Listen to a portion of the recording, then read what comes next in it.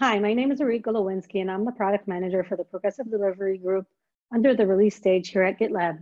Today, I want to walk through a few of the features that we're going to be delivering in 12.10. In 12.10, it's going to be a rather lean release because we have a lot of efforts uh, going into research into really cool features that we're going to deliver in the future, but I do want to talk about what we are going to deliver in 12.10. So the first one that I want to talk about is merge quick actions should add to merge train instead of skipping queue. So those of you who are using merge trains might have noticed that when you use the slash merge quick action, what it actually does is it immediately merges this merge request. And what you probably want to do when doing slash merge is have this merge request added to the merge train. So we're changing the behavior of the slash merge in context of merge train. So merge trains have to be has to be enabled.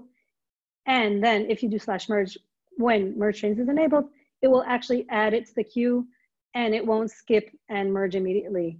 If you do want to merge immediately, you still have this option via the UI with an appropriate warning telling you that this is going to skip the line.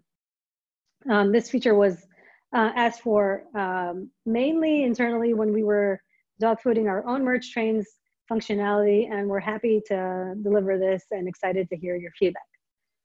The second feature that I want to discuss is update our documentation to explaining to explain how to use blue-green deployments via our current solution in GitLab. So uh, we've been asked uh, by several customers how to use blue-green deployments, and it can be done today using our current uh, uh, solutions uh, for Kubernetes. And we want to uh, add documentation to this and make it really clear on how to work with blue-green deployments. Uh, so those are the two features that we're working on in 12.10. In addition, we're still working on a bunch of new feature flag features uh, coming out from 12.9. Uh, so really excited to see a big push in feature flags and these additional features and I'll see you next time.